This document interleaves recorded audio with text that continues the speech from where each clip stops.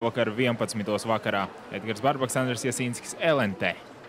Pēc nepilna mēneša 4. septembrī startēs 21. Latvijas riteņbraucēju vienības velo braucienu sacensību organizatori saglabājuši tās pašas trases, kas bija iepriekšējos gados. Arī šogad varēs izvēlēties vienu no trijām distancēm 102 km Latvijas Olimpiskās komitejas sporta braucienu, 47 km seb kalnu divriteņbraucienu un 37 km iteras tautas eh, braucienu.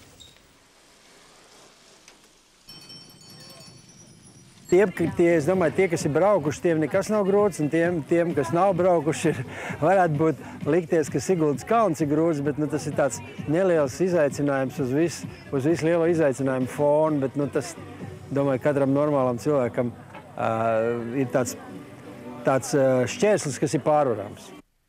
Šonedēļ sākusies vienības brauciena dalībnieku reģistrācija 49 SEB bankas filiālēs un veloservis veiklos visā Latvijā.